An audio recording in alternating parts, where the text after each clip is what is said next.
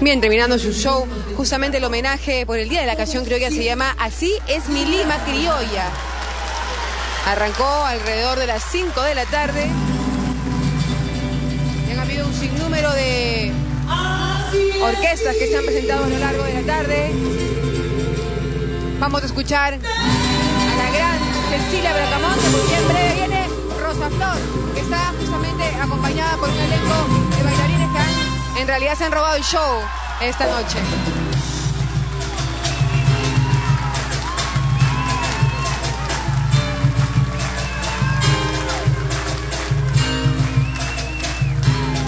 Ahora sí nos escuchan.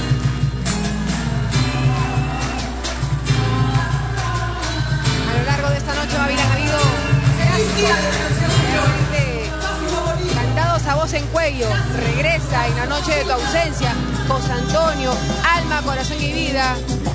En realidad ha sido una gran jornada que todavía tiene para algunas horas más.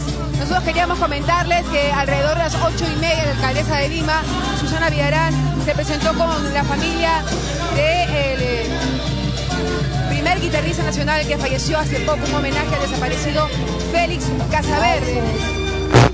digamos que el, el impacto ya estaba generado desde hace tiempo.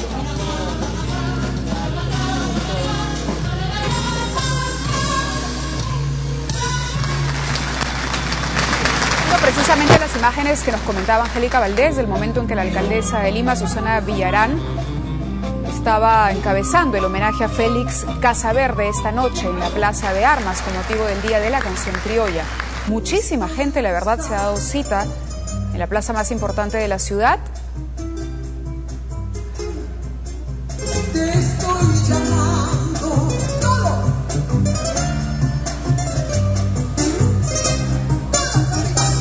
A regresar más adelante, por ahora dejamos a Cecilia Bracamonte, la fiesta parece recién está comenzando en la Plaza de Armas, así que volveremos a enlazarnos con Angélica Valdés.